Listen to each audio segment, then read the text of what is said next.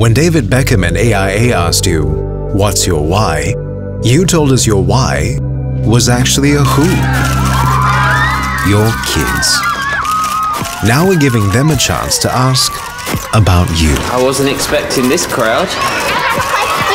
Start with this young lady. My dad has three sugars in his tea. He says it makes him sweeter, but I know it just makes him fatter. Three sugars is a lot. Maybe just try one sugar. Okay. This young man at the back. My dad always tells me to stop playing with my phone, but he's always on. He's working.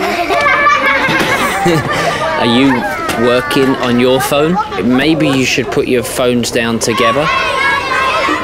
My mom tells me to never smoke, but I know she smokes. I have evidence. This. Oh my goodness. And that's definitely your lipstick.